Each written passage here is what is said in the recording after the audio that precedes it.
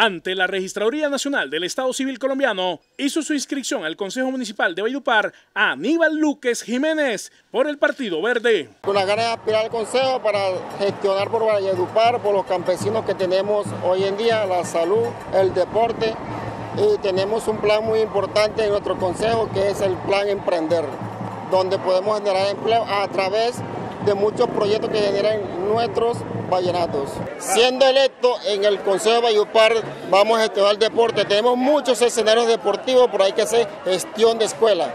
Marca Partido Verde el número 15.